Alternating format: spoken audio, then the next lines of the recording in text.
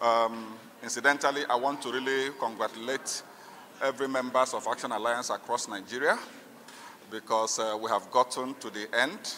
Um, our opponents, those that have been fighting the leadership of the party, they wanted to be clever by half. At least they have seen what we have filed in court and they know they cannot respond. Reason why they have come today to withdraw the, their, their petition. So I want to congratulate AA members across Nigeria. The party keep moving forward. Our recognition by INEC remains the way it is. I want to assure them that we are moving into Kogi, Imo, and Bayelsa to make sure we get secure our mandate that very place. The, man you are dealing with is not even a member of the party.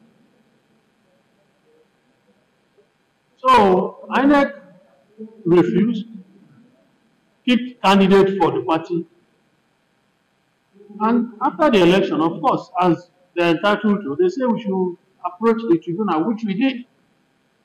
But uh, last week, I was surprised they came to my office and said, well, well, well, we are politicians, please withdraw the petition.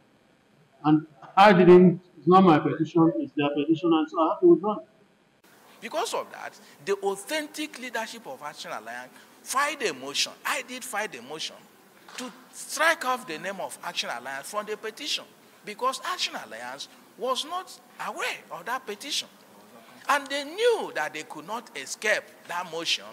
That was why they now decided last week to file a motion to withdraw the entire petition. That was the reason they withdrew, because it was a order they could not pass.